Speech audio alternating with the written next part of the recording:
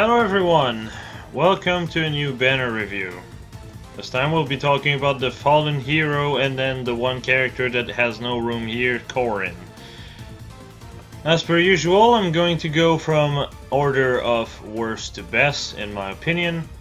Do understand that despite, you know, uh, the place that certain characters may end, every character of this banner are basically pretty good and unique enough to demark themselves from other characters very, very easily. So, let's get started, shall we?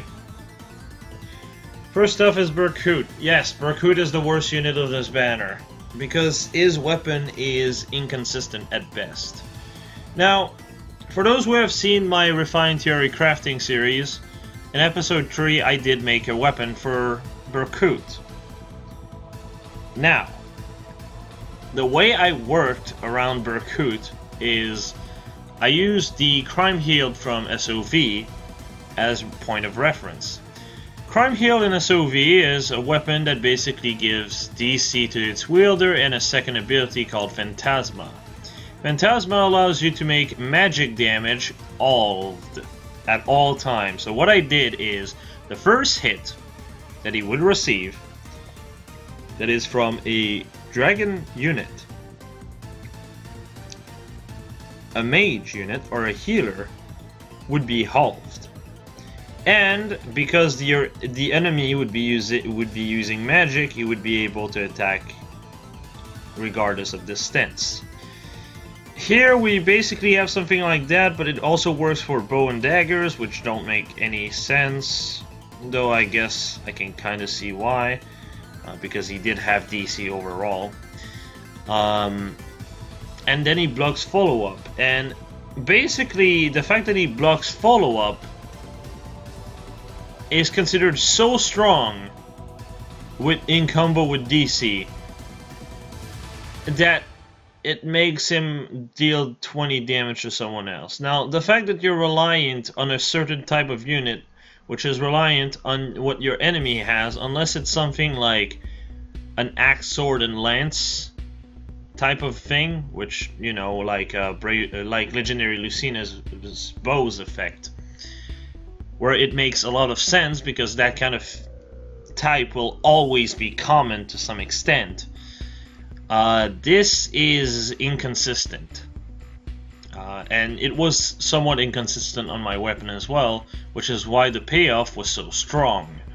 Here you have two condition, and with despite those two conditions, you are still at the, payoff is not that strong, is what I mean. The foe cannot make a follow-up should be regardless of what he's fighting. Because it's only working like okay, Actually, you have three conditions to fulfill. You have to have an ally within two space. Your enemy needs to be a bow, dagger, magic, or staff unit, and staff doesn't really work anyway.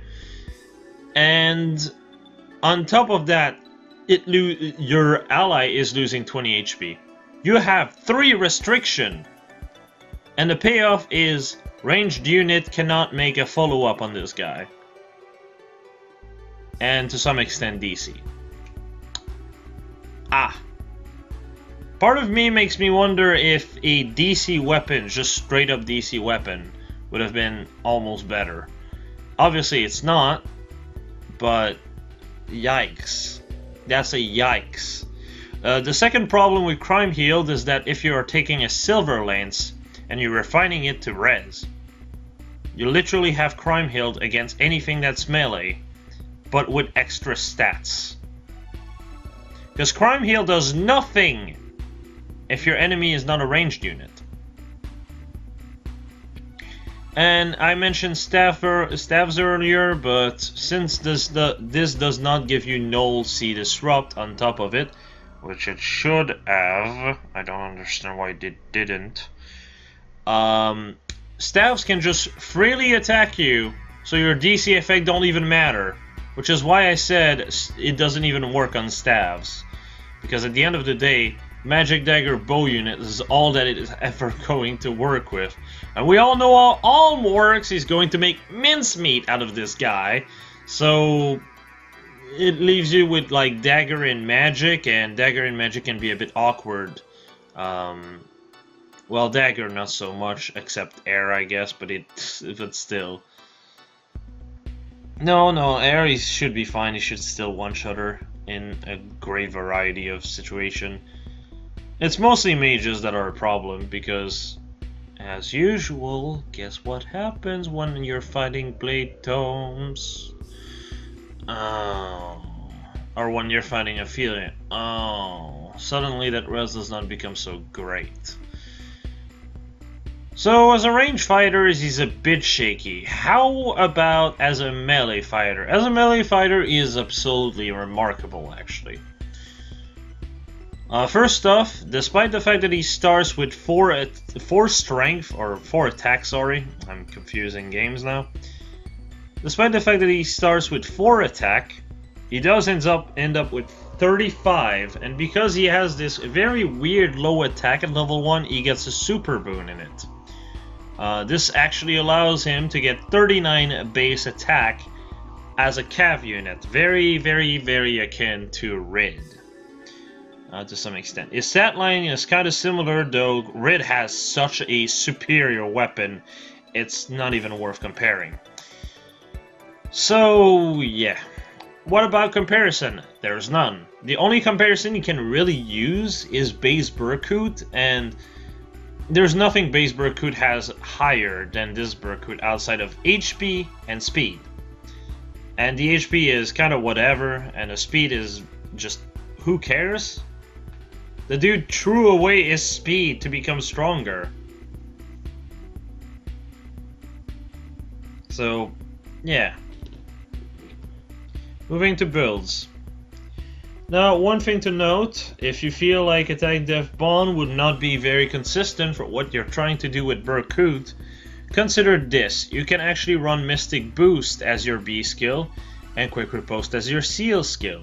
This allows you to heal yourself constantly, which makes up for the fact that, you know, if you're fighting a ranged unit that is a healer, you can't fight back. 90% of the time, anyway.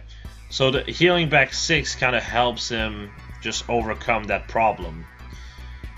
Um, but also in general, since he's such a good duelist, it actually helps him, and it helps him stay afloat, so he's always in Quick Riposte, regardless of if he's fighting dragons, or melee, or mages, which is a problem Attack Def Bond does not address, outside of dealing with melee units.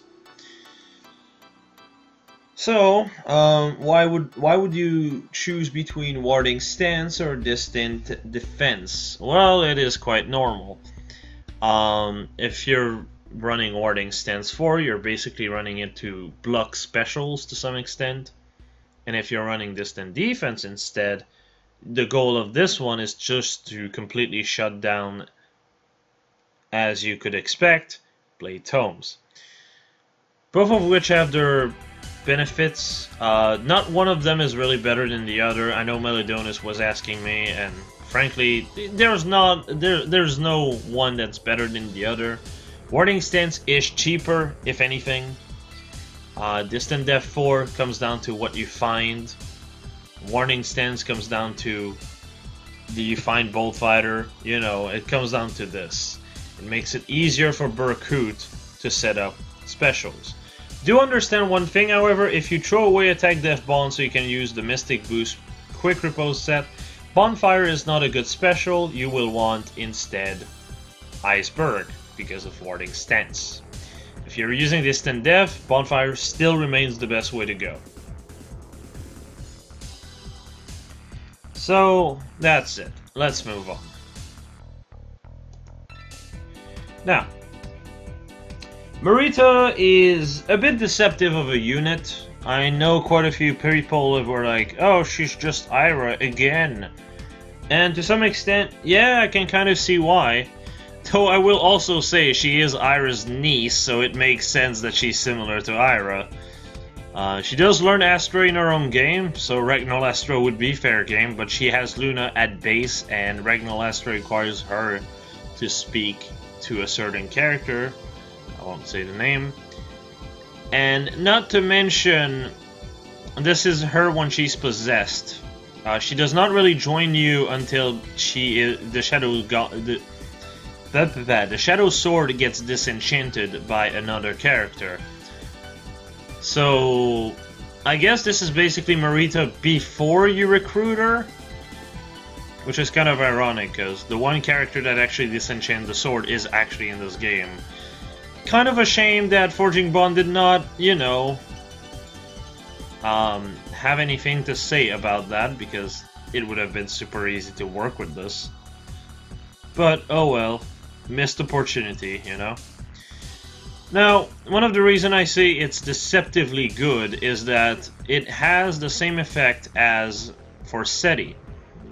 However, it is better in the sense that it does cooldown minus 1 and it's from a melee unit. Ranged units cannot use Gale Force for one, and cooldown minus 1 also opens the, the, the slot not only to Gale Force but for Aether as well.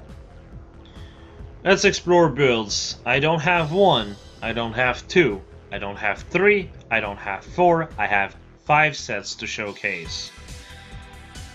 Yep, we're going to be here for a while.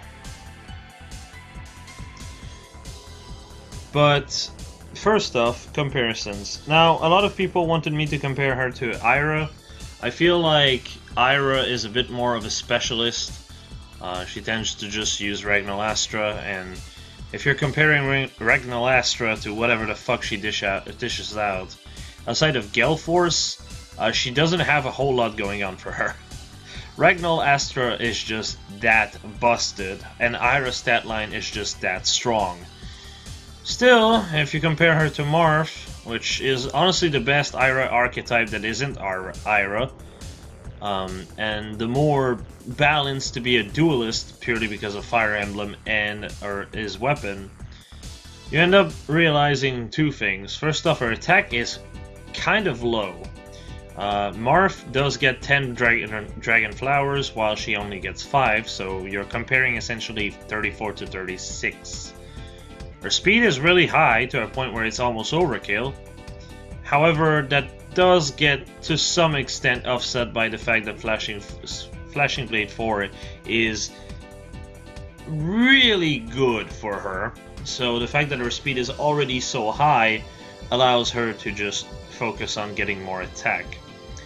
Uh, despite Flashing Blade and everything. Despite not being able to have to run a special, uh, an A skill, sorry, that actually improves both her attack and speed.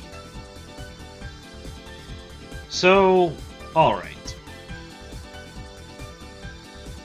Everything else is fairly similar, and yeah. By that extension, you may think, wow, Mareeta is just worse than Marth. Well, Mareeta is just worse than X-Aira archetype. Not really. Um, the strongest suit that Mareeta has is versatility. I have to say one thing that really makes me happy is the fact that Berkut is really unique. Mareeta is very versatile. But then after that it all goes to shit because big numbers is big numbers. Um, speaking of something that really kind of ticked me off is the fact that Corrin is a trainee unit.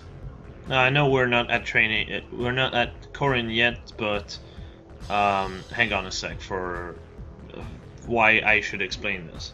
Now, trainee units typically at level 1 in Fire Emblem Heroes have less stats. However, at, at level 40, they have more stats than most units, by 6 points, in fact. Corrin is a training unit for whatever reason. The first four alt, the, the first four characters that Corrin got in Heroes were not trainees. But then suddenly, after the Adrift banner, they became they became trainee units. Gee whiz, I feel like... Oh, what's that? What's that? FEH has one of its director being literally the director of Fates? Gee whiz, I wonder why we keep getting Fate's characters. Gee whiz, I wonder why Corrin is a trainee unit. I mean, I'm not trying to, to, to make it sound like a conspiration theory, but fucking hell does it feel like the guy has such a boner for Corrin that he was like, make her a trainee. What? But why? That doesn't make sense. And at that point, she would be a two-movement infantry unit, uh, armored unit even.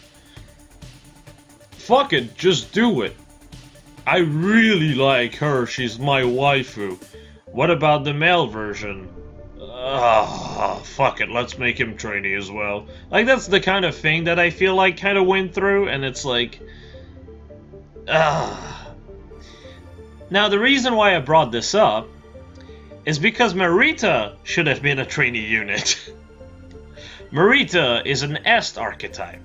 She joins on chapter, I believe, 10 or 12, uh, I believe it's 10, uh, as a level 2 Myrmidon. 2. And I believe, to give you an idea of how far that is in the game, I believe Thrakia has 23 or 24 chapters. So, kind of deep. But yeah, so she comes as a level 2 Myrmidon with Luna, which is why Luna is in, his, in her base kit. She learns Astra later down the line from a certain person.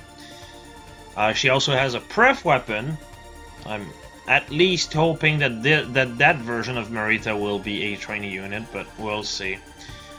The other thing that makes her very viable for a trainee unit is her base stats are god awful. However, she comes with two things that makes her really strong in Thrakia.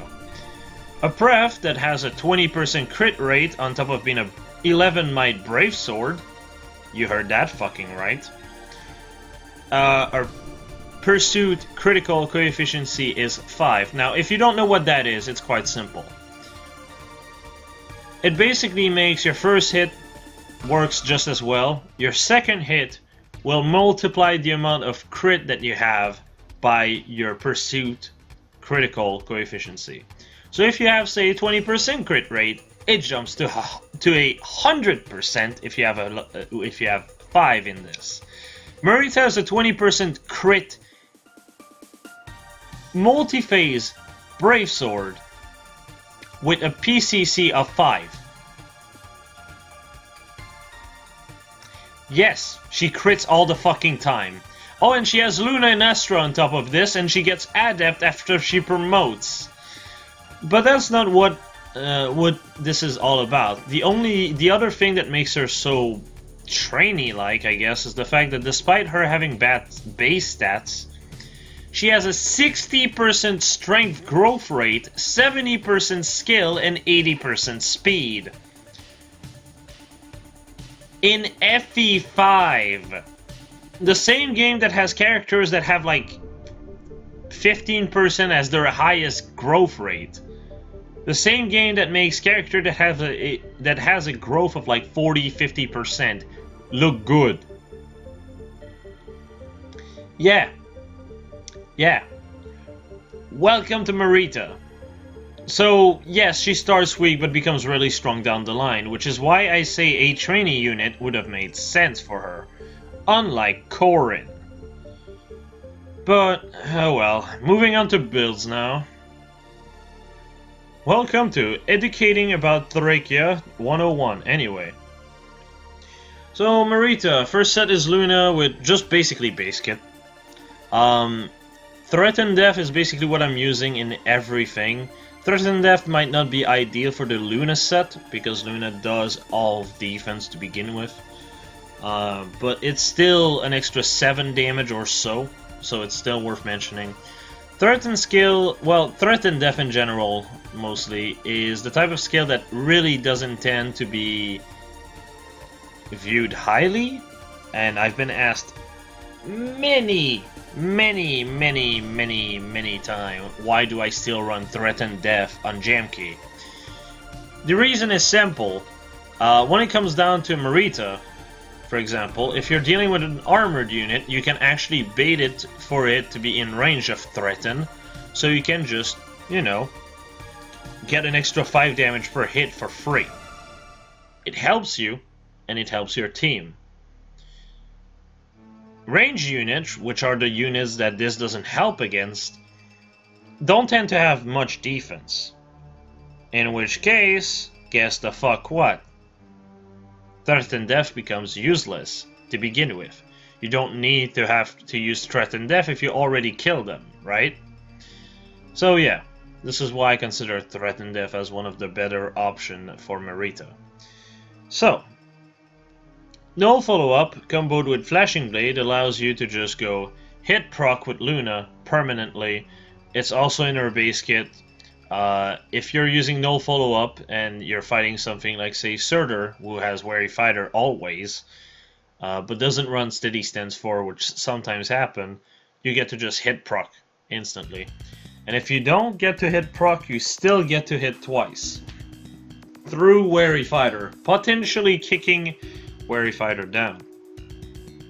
Which is pretty good if you want your allies to just secure the kill afterward. It's also good for other Wary Fighter units. Uh, I know I know Surtr is far from the only one, so it's still worth mentioning. Stuff like uh, Halloween Jakob, for example, that you can just kill through Wary Fighter freely. No follow-up becomes really good for that. Uh, uh Base is also another example, uh, because of her stone. You get the idea. It's just really useful in those cases. So, yeah, if you want to spice it up, Special Spiral is really good with Dragon Fang. One charge does get lost in the process, but it does keep Dragon Fang consistent. Another thing you can do, though this is a bit more dangerous, is to run Wrath. Uh, if you get hit, then... But if you get hit to the point where Shadow Sword still works, but while Shadow, Shadow Sword still works, you could have, oh, a Brazen as your seal slot, which makes so that Flashing Blade plus your Brazen does 12 extra damage, instead of just Life and Death plus um, fucking Flashing Blade as the seal, which would only give 5, then this becomes pretty good. However, it is dangerous in the sense that getting hit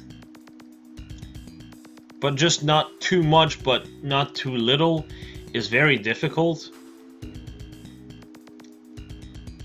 is kind of a problem, still, and still worth mentioning.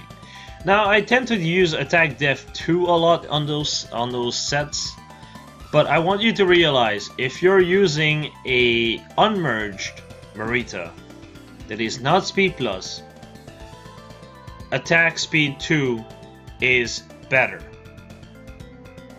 Speed Plus is bad for her, by the way. Don't go for it. You don't need that much speed. But if you're stuck with having a Speed Plus variant, well, Attack Def 2 it is. So yeah. But yeah, with Wrath you can charge Dragon Fang by just running away and then attack, uh, if that's required. Other than this, you could just, you know, have the extra 10 damage.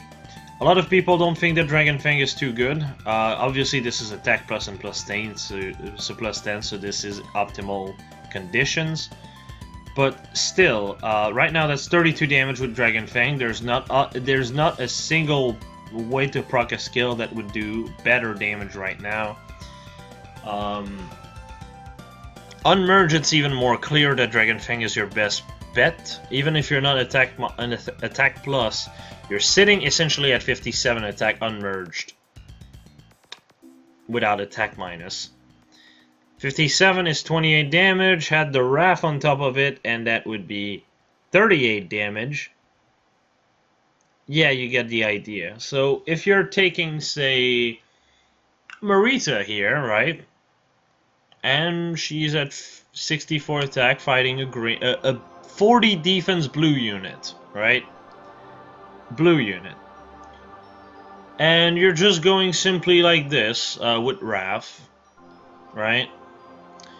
Uh, and you're actually in range, not even counting a Brazen at that point, I'm just counting attack def 2. Your attack goes down to 52. You do 12 times 2. Oh, I'm sorry, because Flashing Blade does true damage. It goes down to 17 plus 2, uh, 17 times 2 even. And then the second hit procs Dragon Fang for an extra oh 42 damage because you get 32 damage from uh, the special itself and 10 damage from Wrath. Yeah, uh, 17 times 2 plus 42. That's 76 damage. That's 76 damage against a 40 defense blue unit. Yikes. Even without Wrath, you typically get the kill. Even without the merge, you can typically get the kills for most units. Most unit. Do you understand that stuff like Special Fighter may slow you down? But if you're using something like Wrath, um, there's one thing that you can do is just run away to recharge it. And if you're dealing with Special Fighter like Special Fighter Tiki, with this set that's on screen, it does not matter because you can just run Special Spiral, get two charge from this. Flashing Blade gives you the last charge you're missing, and boom, you get this. You get the kill through a guard-like skill. Yeah, uh, it's kind of busted. Dragon Fang is your best damaging set. It's also the most consistent one. So, yeah. Moving on to the second build. This time, well, the second, the third and fourth build, rather. So the first one is an AoE set. I hope I didn't surprise anyone with that one.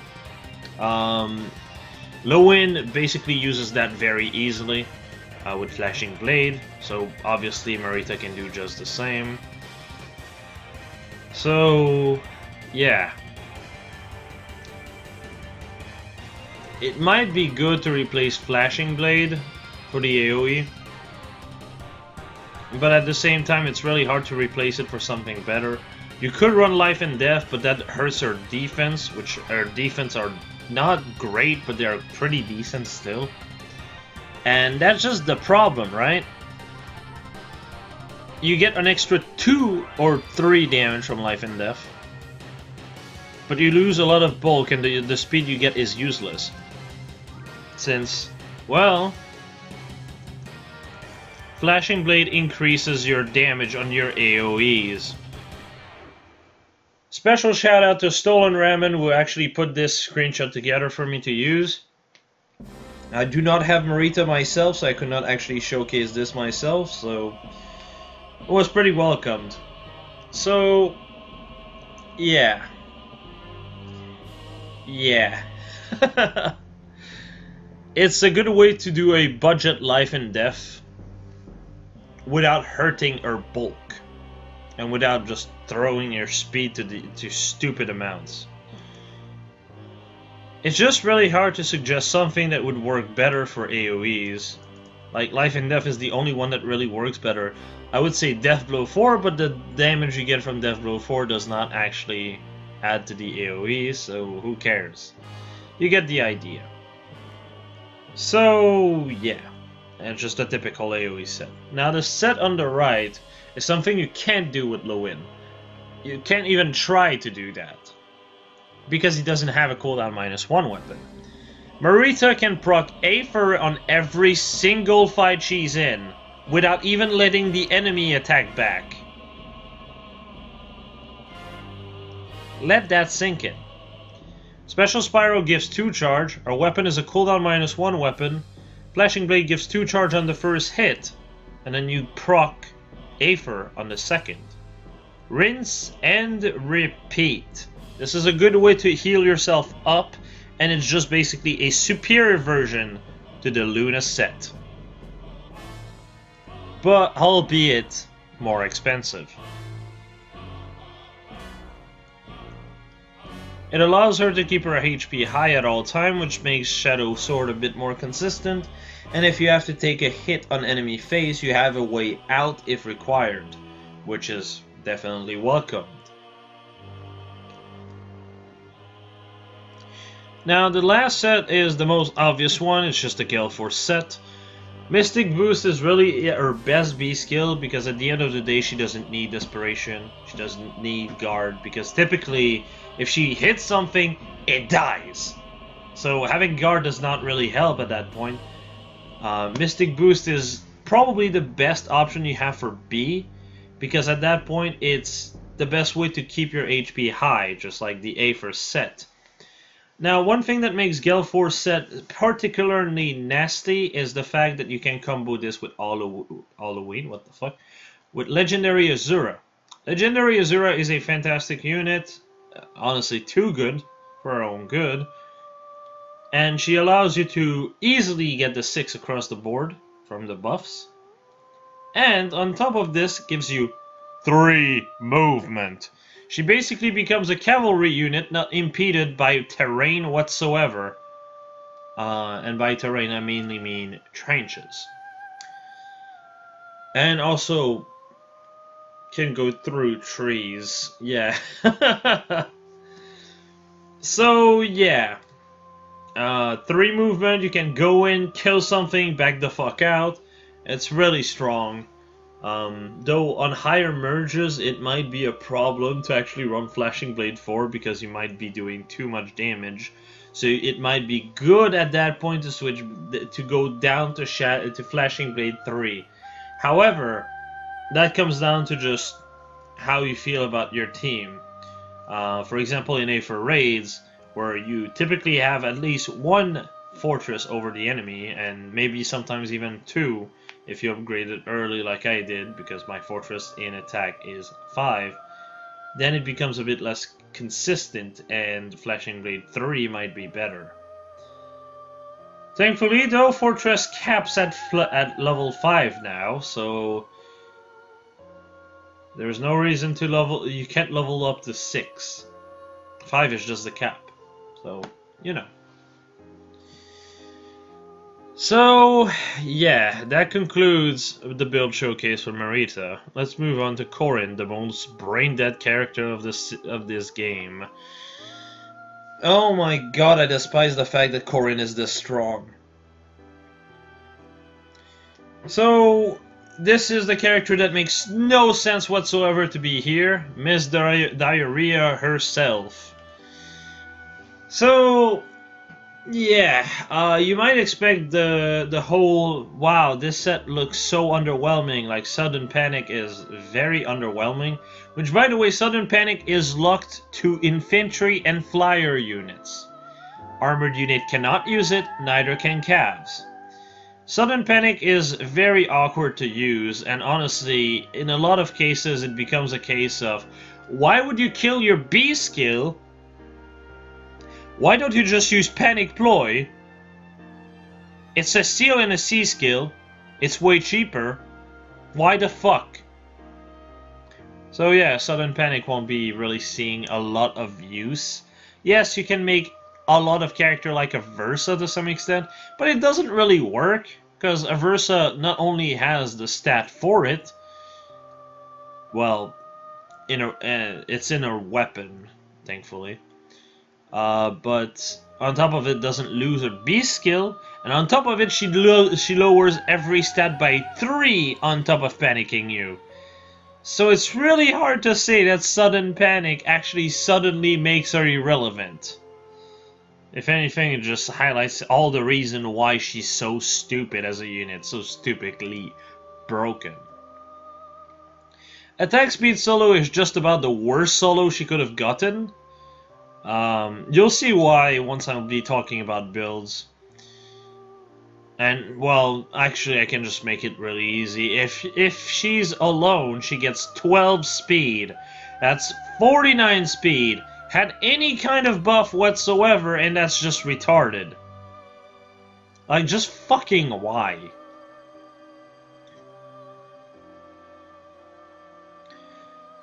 Again, it's just the fucking My Maeda, I think is the name of the director of Fates. It's just the Maeda speaking at this point.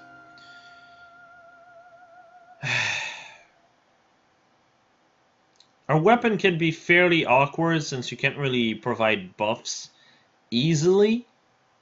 Um, like you can with, well,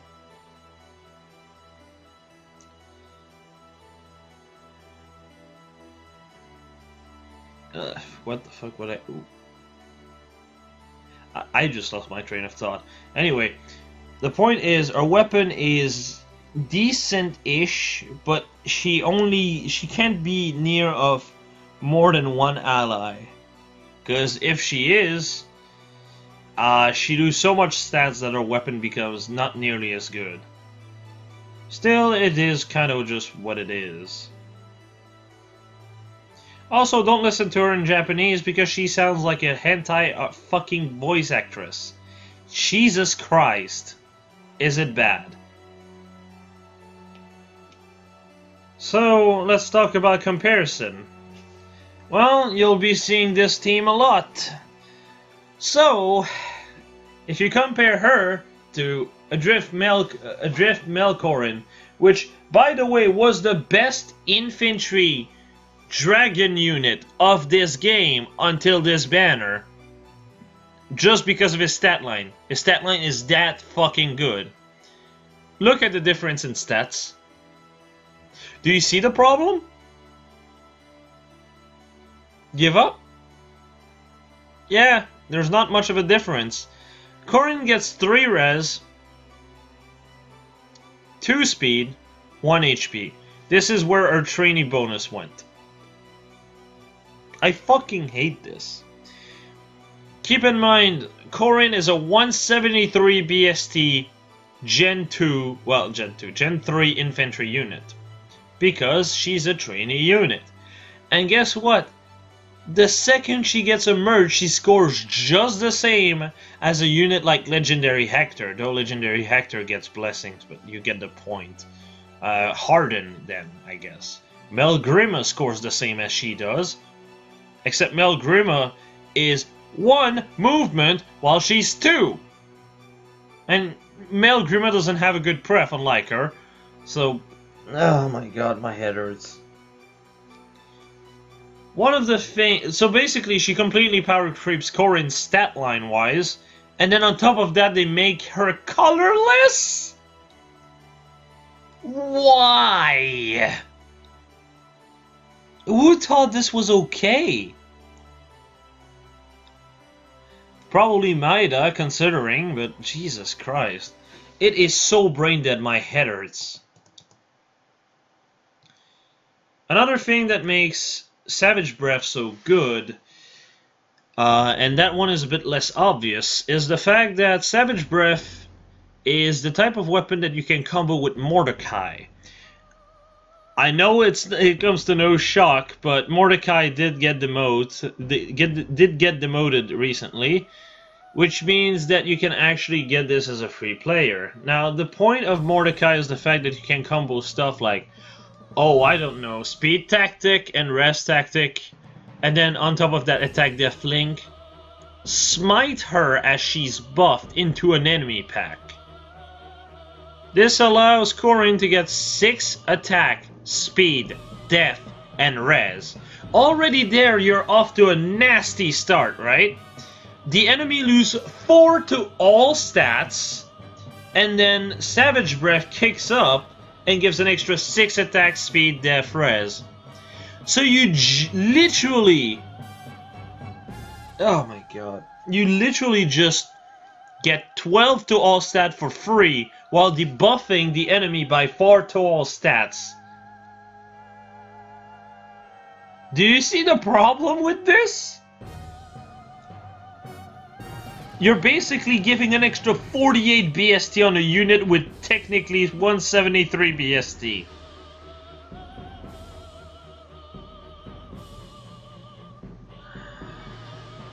That's 220 stat wise. And then you had a 19 might weapon, so it jumps up to 240. And that's without an A skill or a steel slot. Jesus Christ! So, moving to the build section. Yeah. So, guard is a good option for both set, by the way, but I just thought I'd mention Null C-Disrupt more than Distant Counter. So, I do consider Res Plus to be her best boon. Uh, because at this point her attack is just ridiculous. Uh, the fact that she hits 70 attack with just a plus 6 attack is retarded beyond belief. So yeah, 70 attack, 53 speed, 47 def, and 46 res when buffed. This is without an A skill or a seal skill open.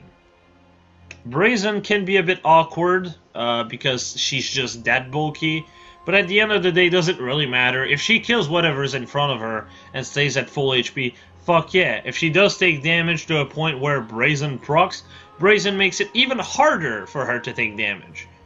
To give you an idea, the set the set on the left with Defra Solo combined with Savage Breath, which is one of the reasons why I said uh, attack speed solo is the worst solo for her. She wants bulk because her attacking speed is already stupid, stupid high. Like, it's just dumb. You don't need more attacking speed on top of what you already have. But yes, if you hit Brazen Defra Solo, and Savage Breath, you are sitting at 60 defense. 60 defense and fucking 52 res. Do you feel like that's okay? I know I don't. I feel sick. And then, to make matters worse, she hits 77 attack. What the actual shit?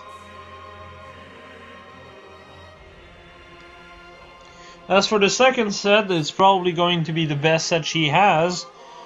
This encountered Null C-Disrupt. Oh, was that Veronica? Oh, she just ting ting on me and then dies. Fucking yikes, dude. Fucking yikes. Well, she doesn't exactly ting all the time, but she barely does any damage at that point. So, yeah. Corrin is a really insanely difficult unit to take down, and she has two movement to make this even worse. A really busted unit. Honestly, I consider her equal to Tiki, and depending on the team on, on the team comp, she can actually beat Tiki the problem is that her weapon is a bit inconsistent in the sense that you need to have no one around you, and the turn after you had no one around you to really take a full payoff from that weapon, you're not buffed anymore. So that's a weakness. That's a huge weakness. But it makes her a bit gimmicky. And you know how I feel about gimmicky stuff, I want stuff to be consistent. So, because of that, I consider her slightly inferior, but not by much. Uh, I'm gonna be honest, she is insanely strong. Just because of sheer amounts of stats and the fact that she's an infantry unit is what makes her this busted. Yikes. Moving on to Tiki now. So, Tiki comes in with literally the same breath as a legendary counterpart, and basically the same amount of stats. And then they decide to give her Special Fighter, because that's literally what every Tiki runs ever but then they backpedal and go, Brazen are a good idea to combo with this, and it's like, huh? What? Why? I don't get it, dude. I don't get it. Th this is also the worst Brazen to run on her, so fuck me, right? Uh, well, no, it's not actually the worst. You can actually make use of her speed. If you're if you run Brazens, you can run Brazen Speed Res actually pretty consistently on Tiki. Uh, it does help her fix her speed problem because her speed is a tad low. But again, it's just a tad low. It's still pretty decent. On low merges though, it's absolutely very, very welcome for her to get. Or speed rest solo, but that's not a thing. I don't think it's it is anyway. But, oh well. You know. As for the C skill, this is the one reason that actually makes her better than Corrin, I feel like. It gives her 4 to all stats if she is adjacent to no unit or a dragon unit. Obviously, if you're going to be using her, you'll want to be using a second unit that's a dragon. This should not come as a surprise. Uh, the reason why I say this is because that way you can have more flexibility in your team. Yes, you could just leave Tiki to do her own thing on the on the other side of the map, but that way you could still support her decently, allow her to run bonds on top of what she's using, and just overall gives her more option while also giving you more options. At least when it comes down to movements. So, yeah, I genuinely do think that if you want to use her to full potential, you want a dragon on your team. So, alright. What about the comparison, the comparison, Jay? Well, I mean, we're following a trend here. Oh look, it's literally me, but stronger, and instead of being blue, I'm colorless. Yeah, um... So, this version of Tiki gets more two more attack at the cost of one speed and one res. That is it. As for the matter of it being better, I don't think so. I genuinely think Legendary Tiki has a better stat line. However, the thing that makes the other Tiki better is the fact that she's colorless. Blue is a terrible color. Just because there's so many greens. And being colorless helps a lot. I keep hearing people that say that dragon killers are everywhere. And honestly, that's only true for Deirdre and Julia. Those are uh, those are very present. But like Falchion and so on, those don't tend to exist. And the fact that she doesn't have the color disadvantage anymore kind of just shits a little on Naga, uh, to put it simply. Is kind of ironic considering she's literally Naga's child.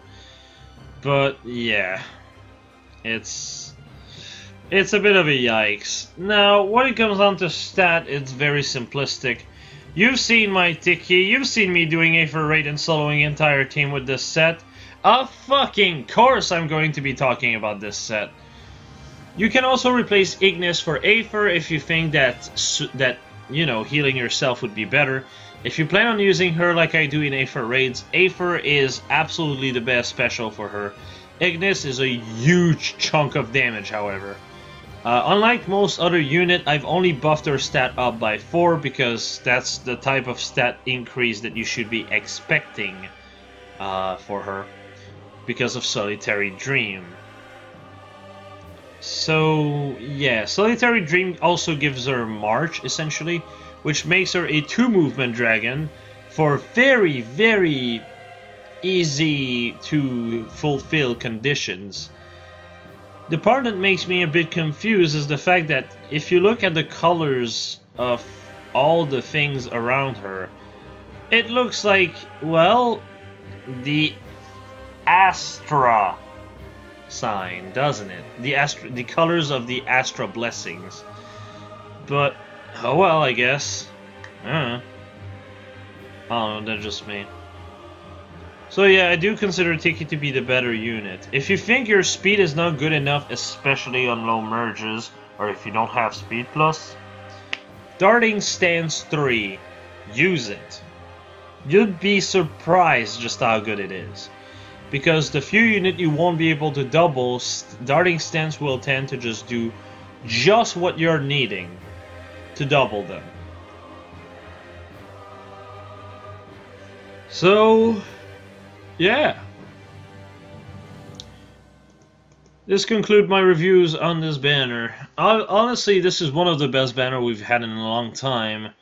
For the first Alv, and then the second Alv is just, we have big numbers, yes. Also, we don't have weaknesses anymore, yes. That's a bit of a bummer. Uh, Berkut and Mareeta are surprisingly well balanced, I guess would be the way to put it. Berkut has a very has a very strong game against ranged unit that aren't staves unit. Um, but he's also held back by the sense that if he's not do fighting ranged units, he basically gets nothing from his lance. And Mareeta is, well, yet another sword infantry unit.